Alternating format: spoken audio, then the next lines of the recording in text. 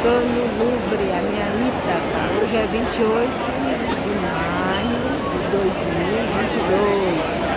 Depois da pandemia, cheguei ao Louvre. Estive aqui em 2019, pela última vez.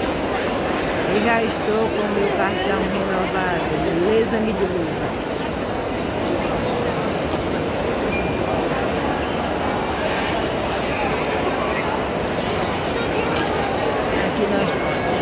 Temos as alas.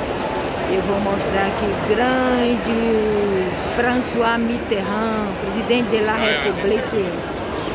Ele foi o responsável para fazer essa pirâmide, pirâmide de Louvre.